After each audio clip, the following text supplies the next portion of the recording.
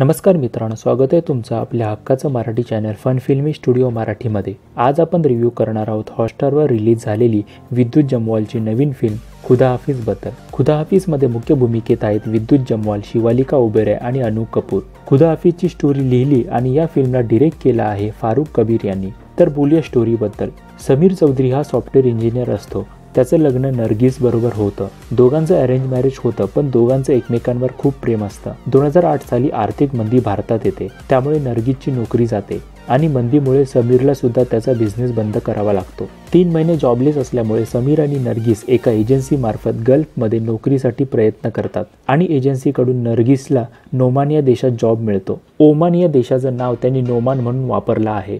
समीर आणि नर्गिसमधून फक्त नर्गिसला जॉब मिळतो म्हणून नर्गिस एकटीच नोमान येथे जाते. दोन तीन दिवसानंतर नर्गिसचा फोन येतो आणि ती संकटात आहे. कदाचित तिला किडनॅप केला आहे असं समीरला समजतं. म्हणून तो तिला शोधायला एकटा नोमानला जातो. तिथे त्याची भेट उस्मान या टॅक्सी ड्रायव्हरकडे जाते.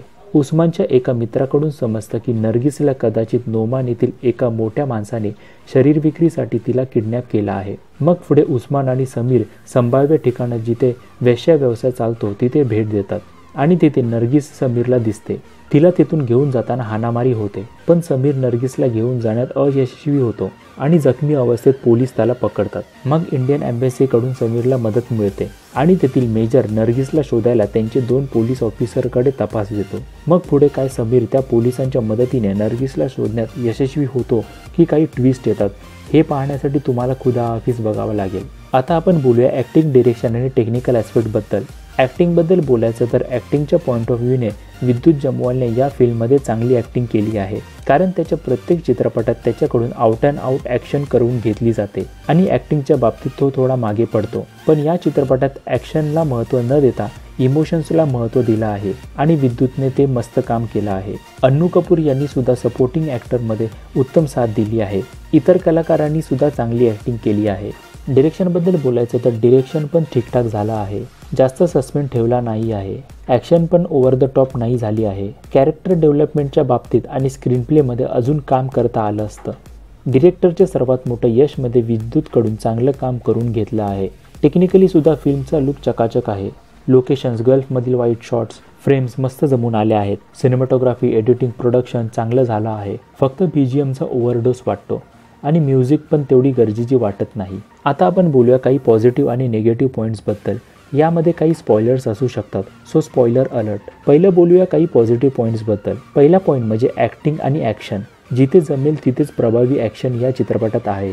नको तिथे ओव्हर द टॉप सीन्स नाही आहेत. दुसरा पॉईंट म्हणजे अन्नू कपूर. त्यांनी उस्मानचं कॅरेक्टरमध्ये चांगलं काम केलं आहे. तिसरा पॉईंट म्हणजे समीर आणि नर्गिस यांची केमिस्ट्री भले त्यांच्या वाटेला तेवढे सीन आले नाही आहेत पण जेव्हा दोघे स्क्रीनवर असतात तेव्हा ते दोघे मेड फॉर इच अदर आहेत असं वाटतं. आता आपण बोलूया काही निगेटिव्ह पॉईंट्सबद्दल पहिला पॉईंट साहजिक स्टोरी म्हणजे एकटा समीर त्याचे ॲक्शनचं काही बॅकग्राऊंड नाही आणि तो नोमान इथे जातो फायटिंग करतो ट्रेलर चालवतो हे थोडं अनकन्व्हिन्सिंग वाटतं. दुसरा पॉईंट म्हणजे स्टोरी थोडी प्रेडिक्टेबल वाटते. आणि खूप साऱ्या गोष्टी हास्यास्पद वाटतात. जसं की समीर मेन विलनला मॉडेल म्हणून भेटायचं असं मेसेज करतो. दुसऱ्या दिवशी त्याची मीटिंग फिक्स पण होते आणि जेव्हा समीर त्याला भेटायला जातो तेव्हा त्याच्याकडे काही सिक्युरिटी पण नसते. पण समीर पळायला लागल्यावर लगेच गुंड तिथे येतात. या सर्व गोष्टीमुळे चित्रपट थोडा अनकन्व्हिन्सिंग वाटतो. तर हा होता रिव्ह्यू खुदा हाफिजचा. आम्ही खुदा हाफिज या चित्रपटाला देत आहोत अडीच स्टार तुम्ही एकदा बघण्यास काही हरकत नाही. अशाच फिल्म गोष्टी मूवीज रिव्ह्यूज सिरीज रिव्ह्यूज यांची माहिती मराठीमध्ये पाहिजे असेल तर आमचं चॅनल लाईक करा कमेंट करा शेअर करा आणि सबस्क्राईब करायला विसरू नका. फन फिल्मी स्टुडिओ मराठीला. थँक्यू